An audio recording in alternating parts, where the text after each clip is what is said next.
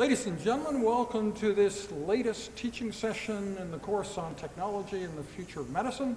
Today, Patrick Pilarski is taking us through automating life, the automated past, present, and future of human life on Earth. Take it away, Patrick.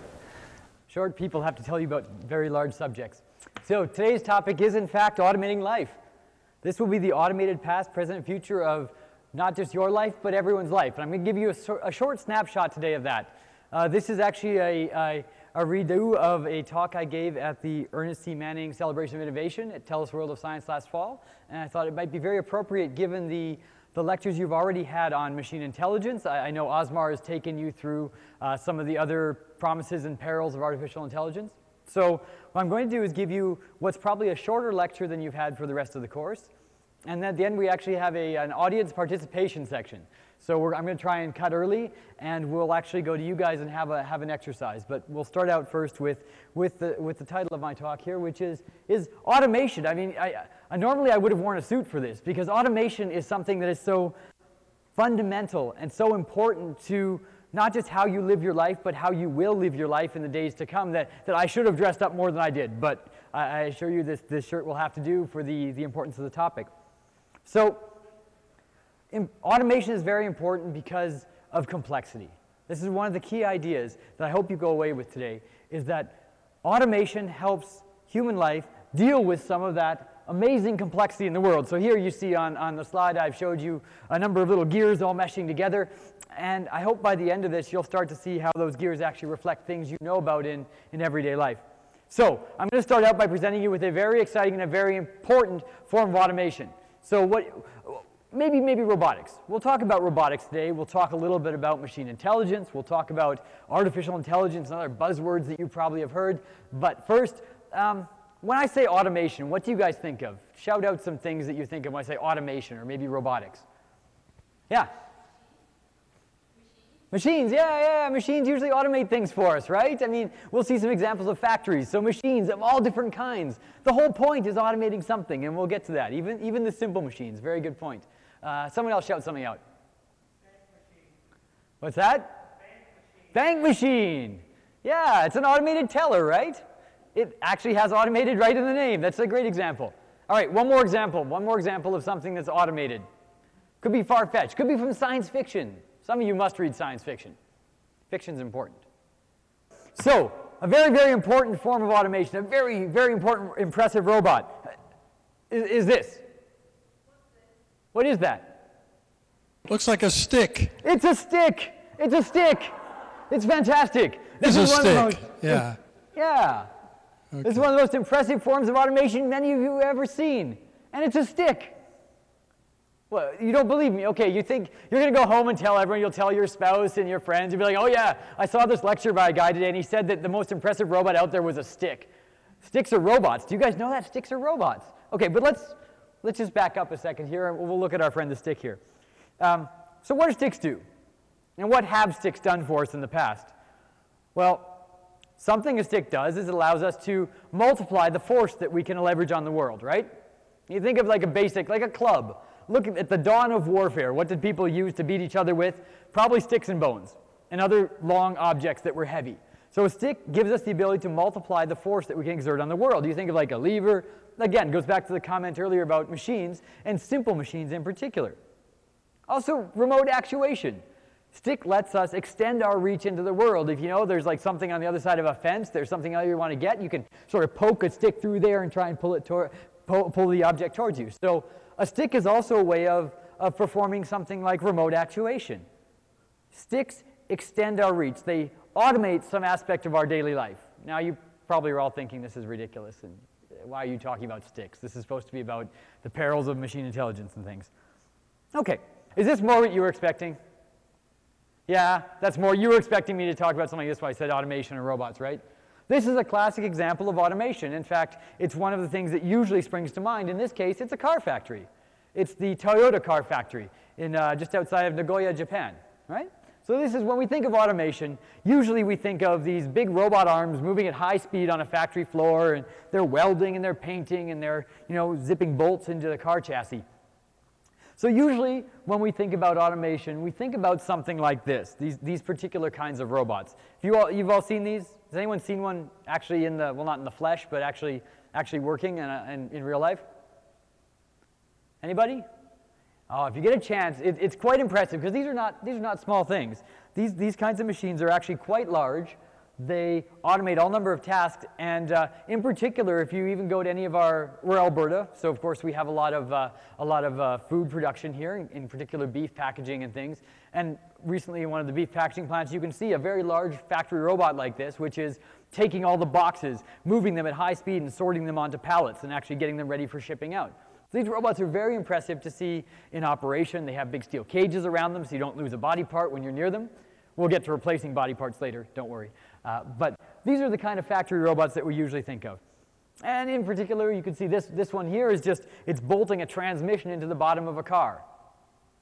So that's something that people used to do, right? I mean, most of these basic operations, the welding, this car just came out of a series of robots that actually painted the whole car, put the entire clear coat and, and all the enamel on top of that car.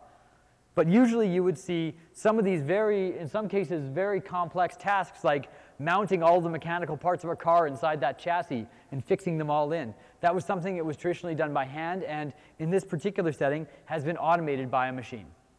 All right, so I, this is all, again, these are all pictures from, uh, from out, at, out at Toyota. Uh, Toyota became Toyota. Anyway, um, this is all from Toyota. Does anyone know what, what uh, Toyota started with? It wasn't automobiles. Oh, wasn't even bicycles. It was Honda. That, that's very possible. Toyota had something very different. It involved wheels, though. No, it wasn't toys either. Anybody? What's that? Farming equipment. Almost. Almost. What's this? They started in textiles. They started in automating the process of spinning and weaving, of making fabrics out of base materials. And if you go to their museum, it's actually really, it's, it's worth a trip out there if you get a chance to go to the museum because they'll show you about the, all the stuff about making cars, but much more exciting is the history of automation that's built into how they went from a simple system like this, a spinning wheel, it takes animal fur and plant matter and builds things like thread and yarn and eventually if you go to the factory, you'll see how it integrates all those together into incredibly complex textiles. And you can see step by step how every little piece of the process of making fabric was gradually increased in speed, increased in efficiency. Small pieces were taken over by more and more complex machines. All right? This is the history. I, I really like it because I do think it is the history of automation. And we went from those spinning wheels to something like this. If you can see on the screen, it's a battery of all these of different, uh, of different fibers being woven together and being dressed, stretched out and drawn.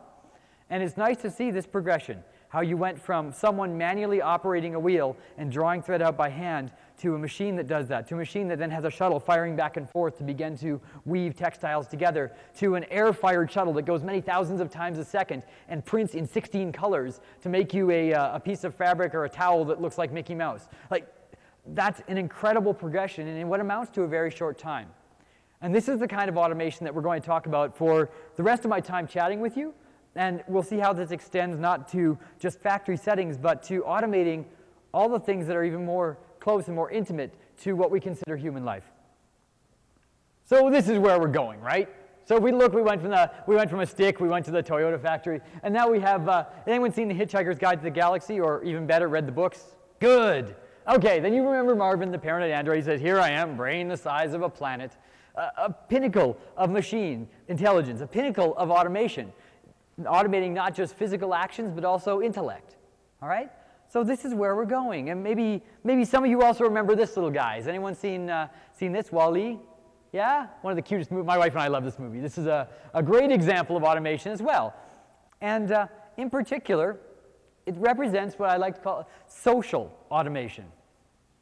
All right? So Marvin, you saw on the previous slide, and WALL-E here, they interact in a social setting. They perform in sort of a, they, they automate some aspects of the interaction between two entities. Uh, so is this pretty far-fetched though, right? We don't, does anyone see an example of something like WALL-E in daily life? We see pieces of this, right? And in fact, let's look at this little guy in particular. We have something that looks like this. That's, that's not too far removed, right? This is a robot at a shopping mall, one of the shopping malls in Japan. A lot of my examples will be from Japan because it is one of the uh, homelands of automation. And what you see here is actually a robot babysitter. So this little robot is actually stationed at a mall, and you can imagine leaving your little child with this robot. It has a little name tag, the robot can scan it, make sure your kid doesn't get lost or run over by something. And so yeah, parents could just come in, you know, drop off a child with the robot, and the robot would act as sort of a robot nanny while the parents go shopping. That's, that's great, right? Would you guys leave your children with a robot babysitter? Does any of you have children? Just checking. You do? Would you leave your child with a robot babysitter? You're not sure? See, I, I have a new puppy. We just got a puppy recently. My wife and I got a puppy, and I, I'm, I'm not convinced we'd leave our puppy with a robot babysitter, but only because the puppy would probably chew the robot. Yeah. Yeah, yeah. That's another great example of, of helping machines helping manage social settings. And the, the robot, I'm assuming the robot, they were helping the children interact or, yeah. Yeah, there's some neat examples of, of robots that the, the little Keepon robot as well, a little or, series of little sort of like, looks like an ice cream cone of yellow, um, is a great example of, of, one that deals with children, for instance, with the autism, autism spectrum and other different uh, ways of interacting. These robots can help encourage them to make eye contact, to be able to hone their social skills. So this is a neat example. We're looking at automating some social aspects of human life. All right? And if this robot seems a little far-fetched, then maybe let's look at let's look at these robots. Yeah. Those are some of the Geminoid robots of uh, Hiroshi Ishiguro. And uh, you may notice that, I mean, you can probably tell one of those is a human and one of those is a robot, right? You guys can, can you all tell which one's the robot? Can anyone not tell which one's the robot and which one's the human? They're getting close, right? So this is actually like on first pass, something in your brain, something very far down in your primitive animal brain will probably say, oh, that doesn't look quite right. Doesn't look quite human. And you're probably right to, to hone that intuition. But uh, what you see here is a, is a, level of automation where they actually have duplicates of these particular actors. And I believe these are actually used in a TV show. And uh, what the actors will do is, is, sort of remote pilot their, their synthetic bodies. It's kind of like you guys saw the movie Avatar, probably big blue things running around. Um, people projecting themselves into a synthetic body. And here we're seeing an example of this as well, where people are in fact being able to teleoperate duplicates of themselves, except duplicates that are made out of plastics and metals as opposed to squishy wetware. So this is interesting as well. This is another form of automating things that we, we near, normally hold near and dear as something very human. Our appearance, our social interaction, their voices come out of the mouths of these robots. It's a very interesting setting. Okay, but let's get even closer. I, we talked about social automation or automating some of the, the more touchy-feely or the, the me-to-you aspects of, uh, of daily life. So how about we actually look now at a more direct form of automation, automating parts of our body, looking at the direct connection between ourselves and between machines and our nervous tissue, our muscles, the different aspects that allow us to interact with our world. Uh, one example that I really like to bring up all the time is Aimee, uh, Aimee Mullins. Aimee Mullins is a pretty spectacular individual. She has an excellent TED Talk. If you guys get a chance, go. It's, I think it's Aimee Mullins and her many amazing sets of legs or something like this. Wonderful talk. I encourage you to, uh, to listen to that talk and watch it as an example of abilities and super abilities. Um, but Aimee, Aimee lost, as you can see, Aimee lost both of her, uh, both of her legs as a child. She had uh, both legs removed down there about, I think it's about the shin level. Um, and went on to become not only a supermodel, but a world-class sprinter. I believe she did defense work at the Pentagon. Aimee's done amazing, many, many amazing things. And this example here, you see she has those cheetah recurve legs, those like carbon fiber legs that allow her to run at incredible speeds. Now, there's nothing really electron, these aren't like electromechanical wonders. They are simple but elegant mechanical systems which allow Aimee to extend her abilities through some kind of mechanical operation, some kind of mechanical enhancement. This is quite profound. Even purely mechanical machines, I, I showed you a stick earlier. This goes back to another example of, of, of systems like the stick automating aspects of our life, in this case, sprinting and running. But let's go even farther forward. So we look at Aimee Mullins. Uh, Aimee is a great example, but we have Zach here. So you see that Zach has something very different from Aimee's cheetah recurve legs. Zach here is actually using a full electromechanical leg. So Zach Vawter was a, is a subject working with the folks at the Rehabilitation Institute of Chicago. And Zach and his leg, let's call them together, we'll call them Zach, climbed all, I think it's 111 flights of stairs of the Chicago Willis Tower as part of a fundraiser, and that's Zach up at the top of the tower there. Um, and what's neat is that Zach has a, a, full, his leg has a powered ankle and knee, and he controls it just by thinking about moving it. So there, he's undergone some very interesting uh, reinnervation surgeries that allow him to, by moving his, the leg that he's lost, just thinking about moving it like he normally would, he can flex and bend his knee and actually move this synthetic part of his body like he'd move the natural part of his body or at least a first approximation. That's fairly incredible. We're starting to automate not just mechanically, but also automate the whole process of thinking through to moving a leg. This is, so this is Zach Vawter. Um, now, some of you may know this kind of, uh, maybe some of you know this example. This is one of my favorite video game franchises, the, uh, the Metroid video game franchise. Uh, and this is Samus Aran in a fancy cyber suit, you know, like a suit that enhances her ability. She can like jump off walls and things and do little spin jumps, roll through ball and roll through tiny tunnels. So I mean, this also is something that for a very long time has seemed very far-fetched. The ability to enhance our strength, to accentuate our ability to interact with the world on a, on a very comprehensive level. The last quote I saw was like soldiers could actually carry packs that weigh in excess of 300 pounds at a, at a pretty good long march. So that's already incredible. There's, uh, there's examples you as well see where people who are paralyzed are strapped into exoskeletons. Let's call them exoskeletons because that's a good way of, of sort of framing this. People who've been paralyzed are actually bolted into exoskeletons and they can use that to, to move around even though they can't actually move the lower parts of their body.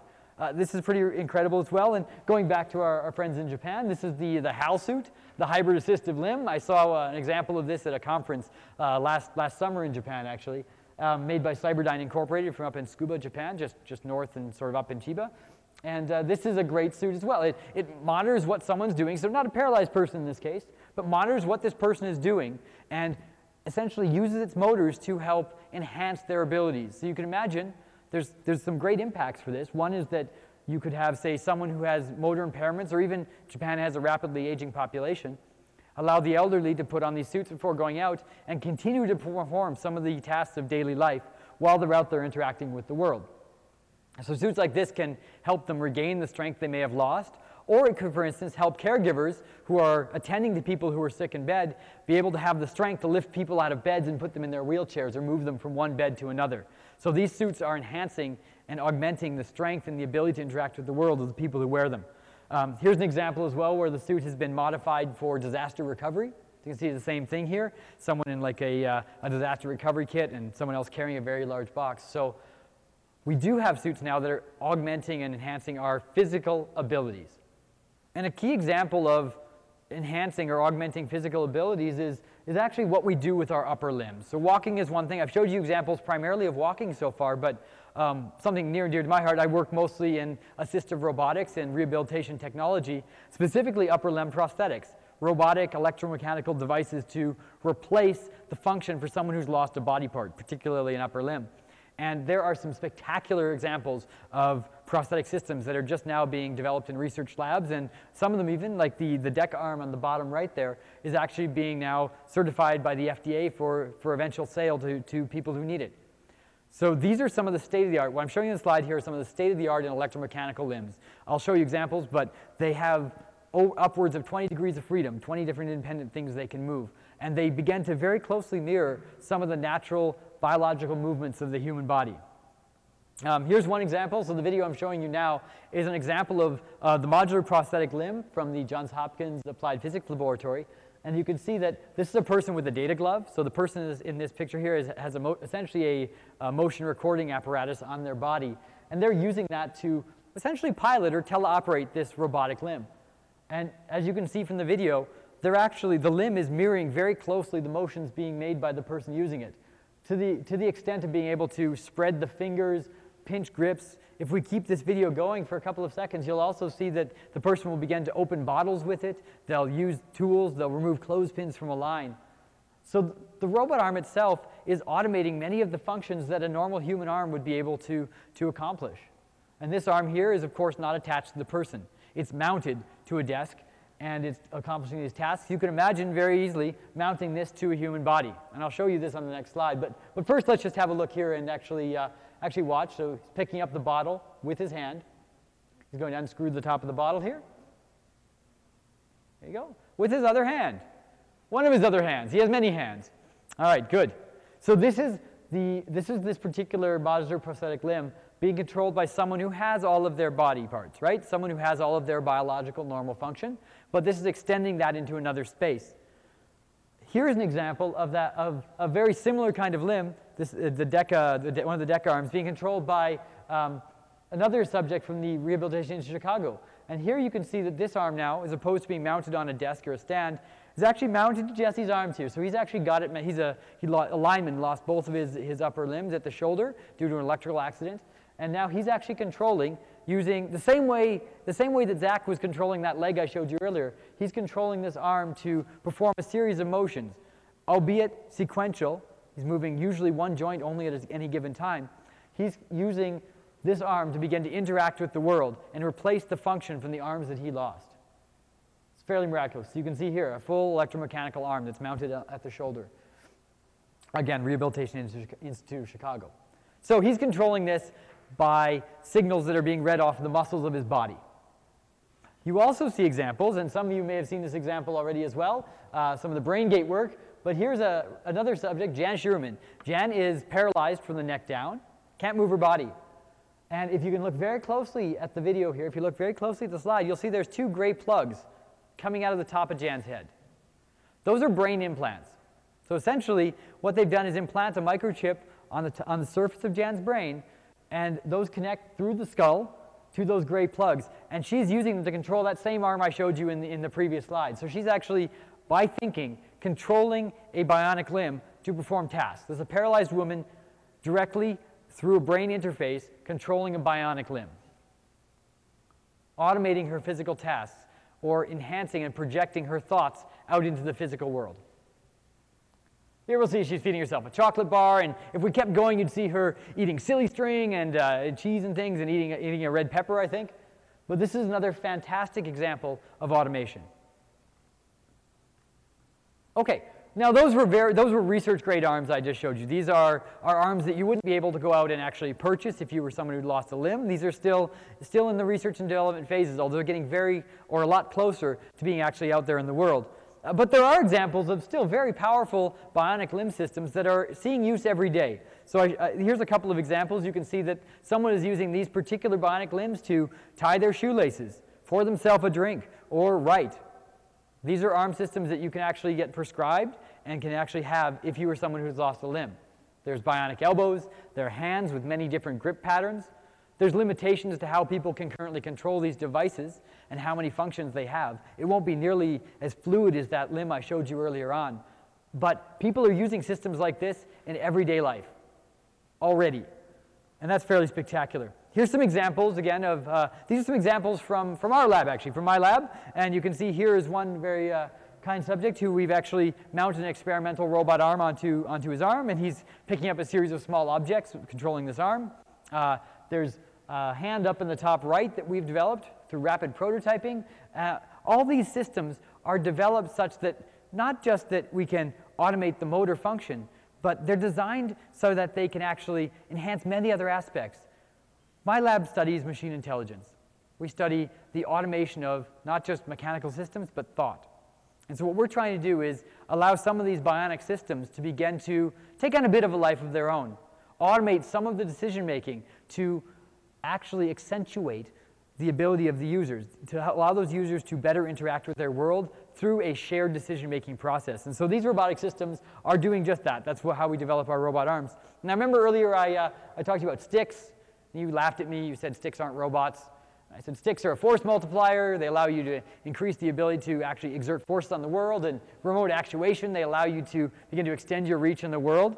Well, if you think about it, limbs are those same kind of things. Limbs are like sticks with benefits, and that they also allow us to multiply the force, multiply the force of our intent into the world, and actuate things that are farther away from ourselves.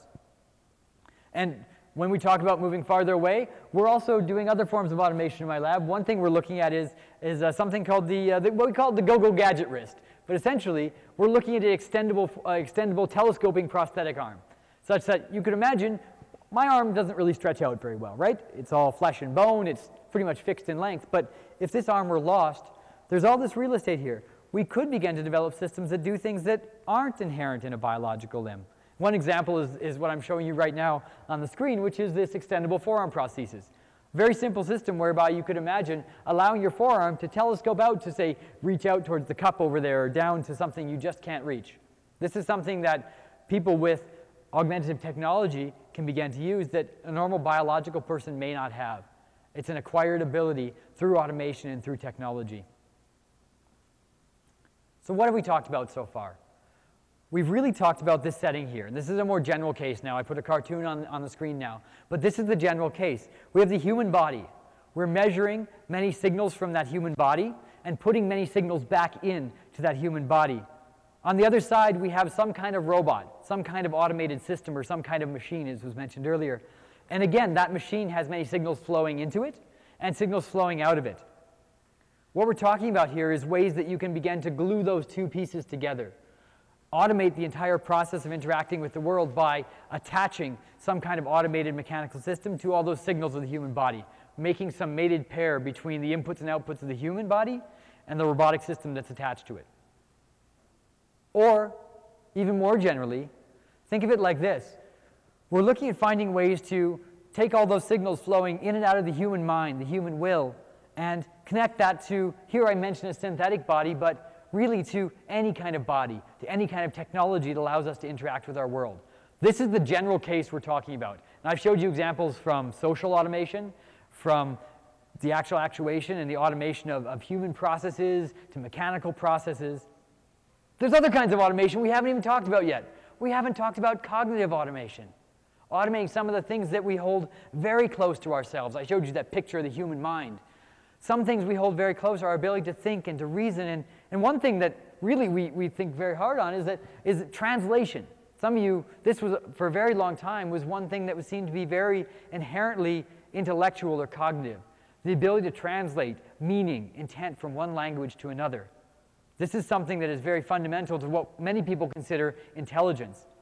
And really, I went on here to make this slide, I went on to Google, and I went into Google Translate, and I typed in maple syrup is not a robot, and I got the, I got the, the corresponding text in Japanese, along with another a link of, of lists for other things that might help me translate. So right away, this is something that probably all of you use on a regular basis.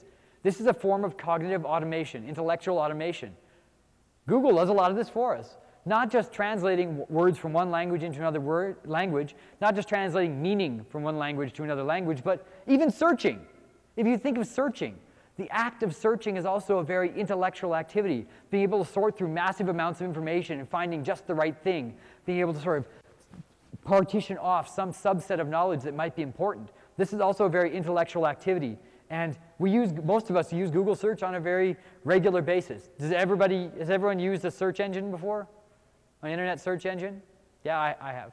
I used it to make the slide. Otherwise, I, I wouldn't have the slide. Uh, and everyone's used, who's used a trans, an automated translation system like this? Yeah. Yeah, most of you probably have. And if not, you can actually, uh, you can use the Google search to find a human translator.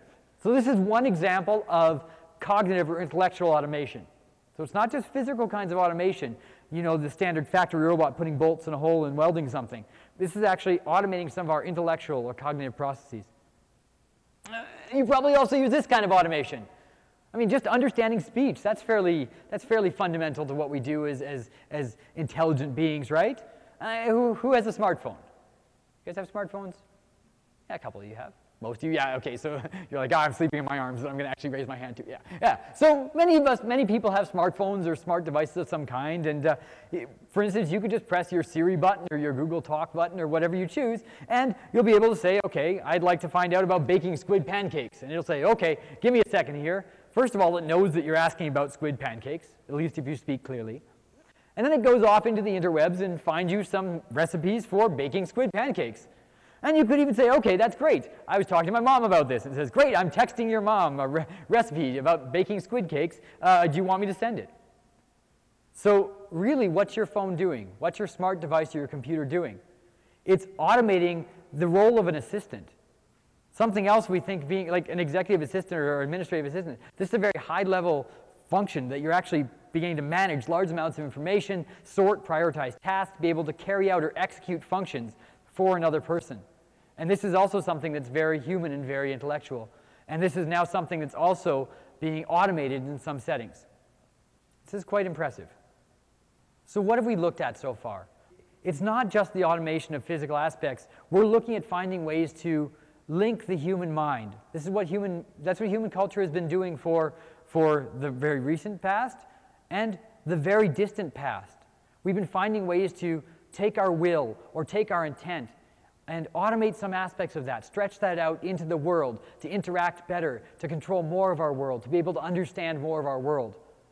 Automating small processes and helping us to be able to better link to that vast sea of everything that's out there. This is, the, this is really the history of automation. And uh, it gets us back to our friend Marvin here. So we, again, we said Marvin is the pinnacle of automation, but with cognitive automation, social automation, at least to, to, some degree. Anyone who's actually, again, read the books will know that Marvin's social automation is perhaps not always the, uh, the best, thanks to the particular cybernetics corporation in question. And uh, also physical automation. Remember, here I am taking prisoners to the, taking prisoners to the bridge. Uh, he's automating physical tasks and mental tasks. Now, is this, is this odd? Is this strange? Is this terrifying? I mean, when dealing with this complexity, this level of automation is something that is almost essential and maybe always has been essential. So, is automation in contrast to human nature? Is automation at odds with nature? This is a key question. What do you guys think? I mean, you think, let's think of Marvin back there as well. I mean, that's a, a form of automation that may have choices. And even those mechanical systems that we looked at earlier may have choices. I'm not, I'm not agreeing or disagreeing. I, am saying it's, it's where you put the choice, where you put the decision making or the autonomy into the systems. A control system on a very fundamental level is making decisions about which way to go. You're giving it suggestions and it's trying to comply, much like Siri or any of these other things. So it's a very, it's a hard line to draw. So I'm glad you brought that up. Okay, well, I'm just gonna, I'm gonna, I'm gonna wrap up then and we'll get into a bit more of a discussion after the fact. Uh, but perhaps one thing to leave, one thing to think about is that maybe nature's been automating all along. Maybe nature is in its very essence a, a, process of automation. And finally, maybe humanity is just getting to the point where we can play along and actually keep up. Maybe we're starting to play our part in that automation. And all the technology I showed you is maybe part of that natural process. So that gets us back to our, our friend here, the stick, and, uh, and the history of automation. So with that, I'm going to wrap up. To close. Uh, thank you all very much for listening so far. And if you'll indulge me, then we'll move on to a, uh, to a brief exercise where we, each of you will actually get to have your, have your say in things. Thanks so much. But uh, first off, I'm just going to do two things. One thing I usually do at the beginning, but in the interest of, uh, of flow, I decided to, to pass up on, is I want to know what your backgrounds are. I know some of your backgrounds. I know what some of you do in your research life and things. But uh, maybe could you just quickly go through and say a little bit about what, what field you're in, what you're studying, maybe what your graduate or undergraduate degree is currently in? Hi, my name is Kira. Um, I'm currently in my fourth year um, finishing a science degree. Um, my major is bioscience, my minor is English. Um, but right now I'm taking uh, interest in global health, so you could say that's my area of interest. Not necessarily my field, but where I hope to be at some point. Hello, my, my name is Rahel, and I'm an undergraduate neuroscience student. And um, yeah, global health is also um, my area of interest, including, uh, but also neuroscience research. Hello, my name is Lucian. I'm an undergraduate in chemistry, minor in economics. And I would say my interests lie pretty much uh, in all fields of science. My name is Michael. I did my undergraduate degree with a focus on immunology and infectious diseases, and I went on to do my master's degree here, uh, applying that to transplantation medicine. So I'm looking at kidney transplant rejection and the role that the immune system plays in that. Hmm. My name is Francesco. I did both my bachelor and my master degree in um, biomedical engineering, and now I am a PhD student in the Department of Physics here at the University of Alberta and my interest is in um, cancer research and drug design. Uh, my name is Yan Lan. Um, I did my undergraduate study and master study in China. I'm a medical school student in China. And now I am uh, in the Department of Surgery. This is my first year for my PhD. And my research is about uh, using the stem cells and scaffolds to you know, for tissue engineering for the meniscus, something like that. Thanks.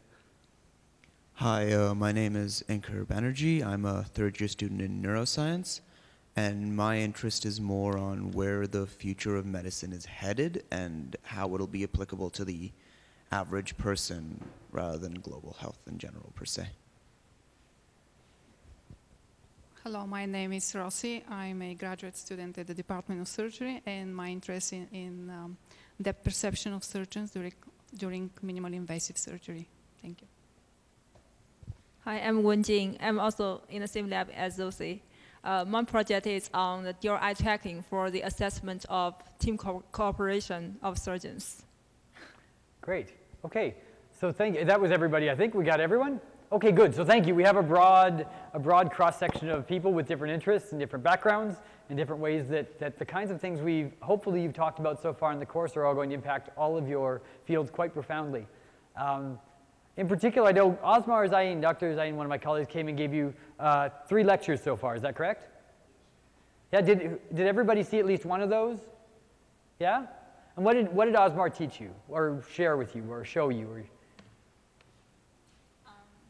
Or, So we talked a lot about artificial intelligence and where we, um, he uh, spoke to us about uh, the very beginning of artificial intelligence and how far it is heading and um, it seems like uh, the artificial intelligence world is changing in astronomical rate. So we talked a little bit about that. Okay, good. So good. Okay, so now I know, I, I, I, kind of knew what Osmar told you already, but I want to hear what, what you guys interpreted as. Um, so then someone else, good job, you're off the hook now. Um, someone else define for me then artificial intelligence or machine intelligence if you prefer to use that, that terminology.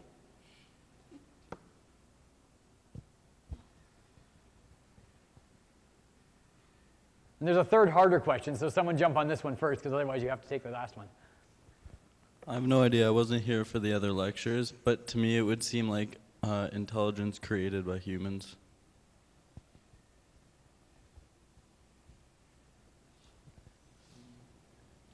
Anybody else? Everyone's uh, quickly. Someone, someone's probably using Google now to look up definitions of artificial intelligence, aren't you?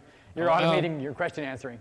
My impression is is a kind of intelligence that is able to uh, develop its knowledge by itself without the human uh, uh, help. I mean, the human help at the beginning, but then it's able to evolve by itself. This is my pretty much my impression. Okay, yeah. good, good, good. Okay, now the hard question. Oh, someone else want to answer, the, or before the hard question? You're all trying to jump on this one before I ask you a harder question. Okay, good. Um, I guess for me, what really separates artificial intelligence from everything else is the ability to adapt mm-hmm. is that uh, you know that's what really separates humans from uh, I guess trees or something. Uh, is that uh, humans can adapt to challenges, and I think that's what's really needed to create artificial intelligence is uh, machines that can adapt to unforeseen or unprogrammed circumstances. Good, good, good. Okay, so good. And that actually, we'll jump into the last part of my question because you uh, partly began to address for it. For me, artificial intelligence uh, probably just like thinking machine, a machine that can think analysis or something like that. But uh, probably beyond humans' intelligence. Something like that. Okay. Good. Okay, so um, you've got the mic, and now I'm going to ask you the hard question. So, what are three? What are what are a few things that really are key components of artificial intelligence? We're here at adaptation, the ability to adapt. So, can you rattle off maybe three more things that are hallmarks of or key components of AI? And you can give what you think AI and machine intelligence is too. First, I was thinking that um, artificial intelligence is something that is created from, from human and that is supposed to mimic um, human behavior, human thinking, way of thinking. So the key components could be um, something that should be defined to closely follow these patterns of human behavior or movements or anything that's uh, connected with the human.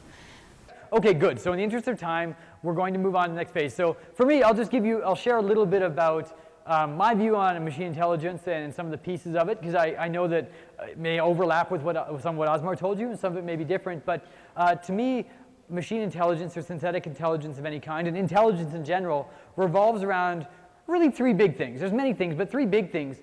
One of them is the ability to represent the world, the ability to take and structure the information in the world in a, in a fruitful way.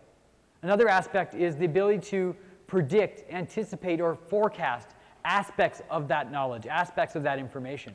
The ability to essentially not just see the future, but be able to build up and maintain knowledge of a predictive form of whatever is out there in the world. And the last aspect is the ability to control some aspect of the world. Bringing all, all three of those things together is, I think, a nice, a nice concrete package for intelligence and specifically machine intelligence. And it involves things like adaptation, being able to adapt and change. Machine learning is a key part of that. It also embodies things like complexity, how you manage a very complex or all-encompassing kind of world. And it also is how you deal with uncertainties or unknowns. Intelligence is able to deal with uncertainties and unknowns. So with that as your, as your sort of your background, we have a very quick exercise for all of you. So if you have a piece of paper or, or computer, what I'd like you to do is thinking about your own interest areas and your own, what we've heard about AI and machine intelligence and what we've heard about automation, can you go and think of one area where machine intelligence, artificial intelligence, or some kind of advanced automation may impact your world or perhaps even your, your future line of study. And then, it, so first of all, be able to, in one or two sentences, crisply state the kind of automation or the kind of impact that, that it might have. And then, as we, this is the perils and promises of AI, I think. So state in maybe one or two sentences the promise that this might have, and also some of the dangers or some of the pitfalls or some of the things we should be aware of in that particular area of automation enhancement. So if you guys can just take, let's, uh, let's go for another, say, five or six minutes. Okay, just quickly scribble this down. I know that's not much time to think about such a deep question, but uh, just follow your gut instinct here. And then once you're done, I'll, I'll stop you all and we'll go through and everyone can have a couple of minutes on the mic to share what they've come up with. Okay, sound good? Have anyone heard about IBM Watson? Yes. Yeah, this is a great example. Now it, uh, it used to be used in the program, US program named Jeopardy. Yeah, two people uh, are intelligent uh, humans compete with the IBM Watson, but the, it was defeated, defeated by IBM Watson. Now it, now it is using in medical side. Currently using, especially in two years ago, it started to use in the diagnosis of lung cancer, breast cancer, prostate cancer, and yeah, and uh, uh, the accuracy is, they have done research about this. The accuracy is much more higher than humans. It is 90%, uh, but for humans, maybe 50%. Uh, when doing diagnosis, uh, our humans only using the 20% of our, of our knowledge to make a diagnosis. But for Watson, it can ingestion more than 600,000 pieces of medical evidence. And uh, um, um, around, uh, and it's almost, yeah. Uh, th uh, this is a very good example in our medical side. Mm. And in the future, uh, our doctors maybe also have a risk of losing our jobs, maybe. and, and, and few people in charge of the, uh, in charge of the machines. and also for robotic surgery, we, we only need to sit here and we needn't go close to the patients. It's all possible. Yeah. Losing your, losing your jobs, losing your knowledge, many things. Okay, great, thank you. The way I thought artificial intelligence would affect uh, medicine of the future is a lot of the problems in hospitals now is there's a lot of overcrowding where a lot of doctors and nurses feel completely overworked and they're running from patient to patient. And so I feel like artificial intelligence could take over a lot of the grunt work in which, you know, taking patient history, measuring blood pressures, you, know, running regular tests that are run for all patients when they mm -hmm. come in could really be taken over by AIs, whereas the trained physicians or the trained nurses could really come in when there's something more concrete to go off of. And this would really reduce the burden on healthcare, both financially and in other aspects. You know, uh, less stress for doctors and nurses, so less chance of making mistakes. Uh, but the the downside to that would be that a lot of medicine relies on the interaction between the doctor and the patient, and a lot of a person's well-being is based on their mental state.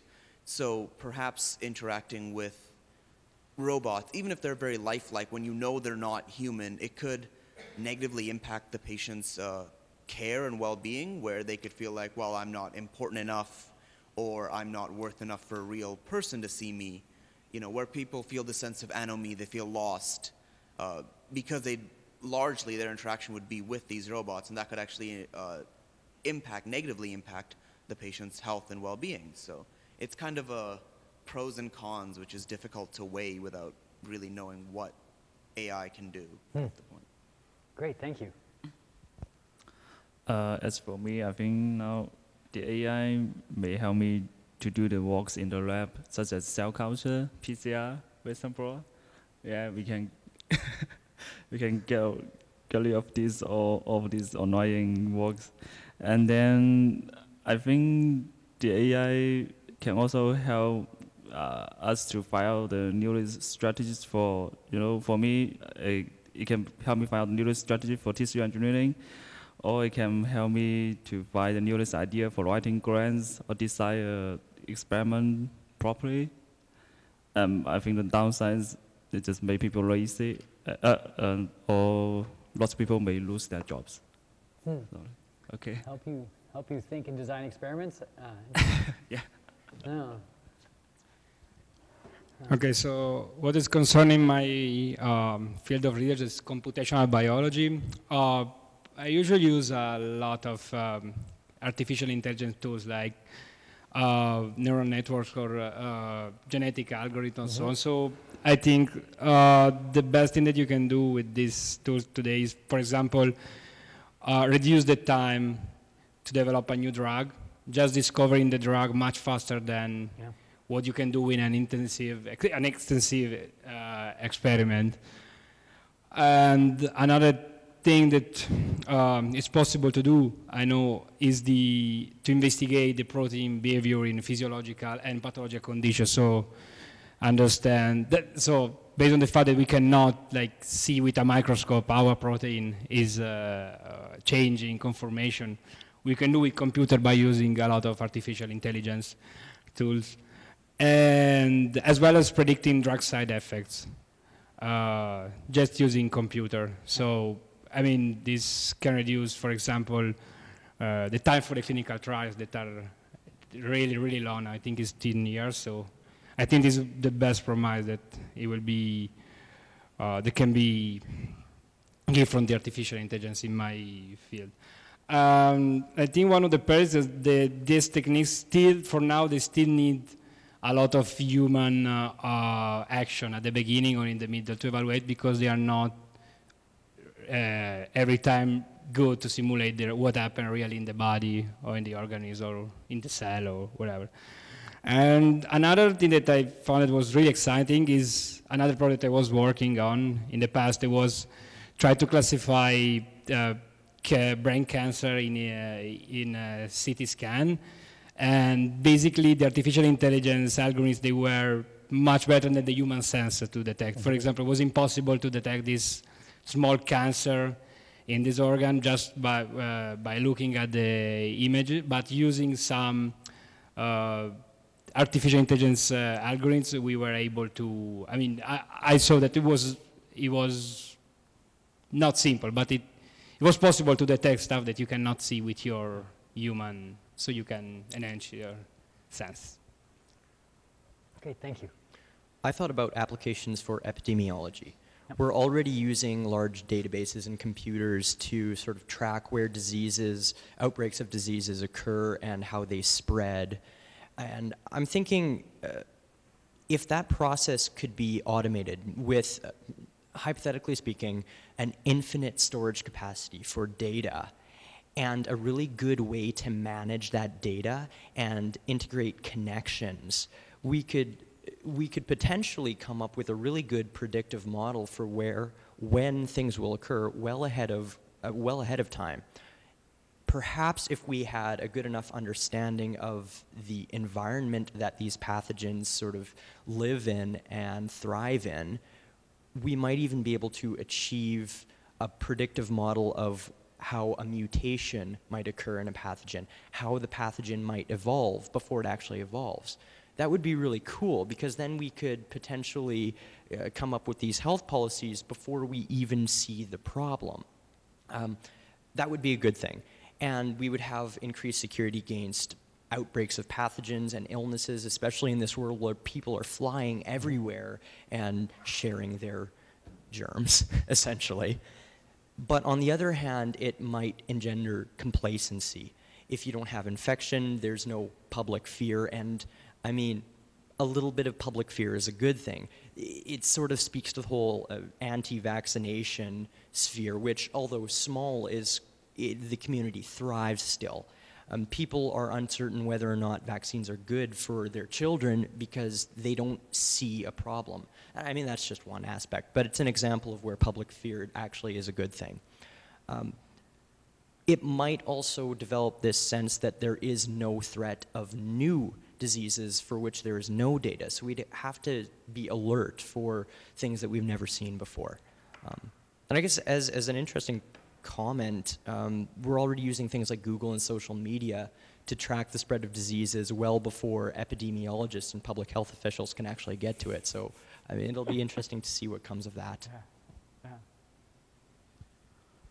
Yeah. Um, I thought about uh, the increase in dependency causing a different brand of warfare where um, some positives might be less fatalities and more economically efficient war for the country who's winning, and negatives I haven't really thought about carefully yet. And the positives could also be negatives. Yeah, often the positives can be negatives. That's a very, a very important comment we should put, put in the record books for that, uh, this particular discussion. Um, as a student, I thought of education. So we already have the option of taking classes online, and including this class, the lectures are recorded, everything's on YouTube. So we have the option of not coming to class. So what if we take this further and have robots that can substitute our teachers and have automated lessons and machines that can train us lab techniques? And most likely, this might have been happening in different parts of the world. Uh, but definitely, this will change my uh, life and just the class dynamics in general. So I think uh, some of it's the promises of having this type of uh, education will be. Uh, this type of learning will be making education affordable and accessible to a broader group of people. And, but some of the perils involved would be the distraction of the social environment school provides, um, but also uh, in coming to school and uh, interacting with our instructors and other students, we have that diversity of thought because uh, we get to hear so many perspectives from people and we get to learn um, about uh, interpersonal skills, leadership, so many other things that are not directly embedded in our course curriculum. So we would lose all of that. And also, an unemployment of teachers who are one of the most influential figures in community will be another concern. Yes, well, I'll have to stop teaching and do more research. Yes. I think also your comment, I think of our friends in, in the surgical robotics area over there who also do some kind of manual training, and the, the, uh, the teaching and training you just spoke of impacts their life as well.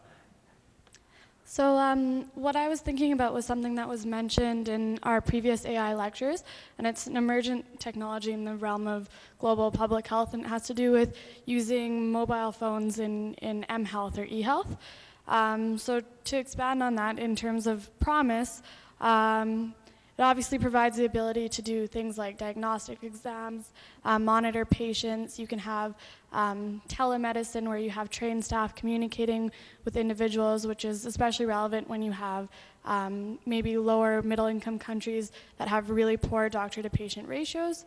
Um, you could track epidemic outbreaks and uh, better rally an emergency response. You could have more improved data collection, better education and awareness. I know there's things that encourage um, in relation to maternal health, let's say, um, more antenatal care visits and kind of improved health in that way where you have populations that have access to uh, mobile phones to use this. And uh, obviously, this is really relevant in countries where there's less health infrastructure and a greater burden of disease. It could be really relevant. Um, in terms of perils, though, it could actually maybe arguably hinder development and progress of the healthcare sector. Um, there's the issue of accuracy of these things. There's the issue of um, like a legal, a legal framework that it would have to operate by.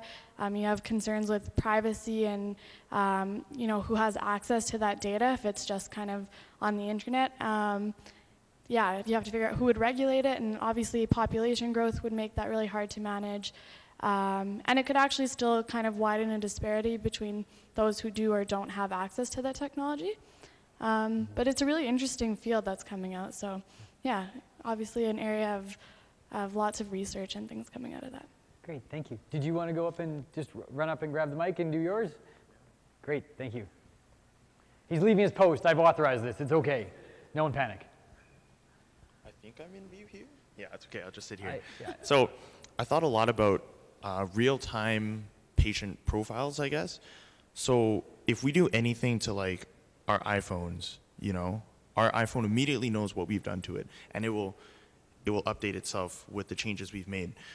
I thought about what if we increase the efficiency of how we treated and diagnosed patients in hospitals if somehow we were able to go into the hospital and be automatically scanned and perhaps there was some kind of microchip in our body that could monitor the changes that we made to it. So say if a doctor prescribes a new medicine and as soon as we start using this new medicine, this microchip or something will recognize this and it will simply just update our patient profile. So the next time we go in, there's not going to be any fuss about, you know, taking a patient history and all this jazz.